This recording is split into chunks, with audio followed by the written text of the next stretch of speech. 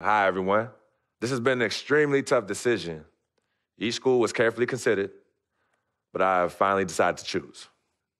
I've decided to go to the great University of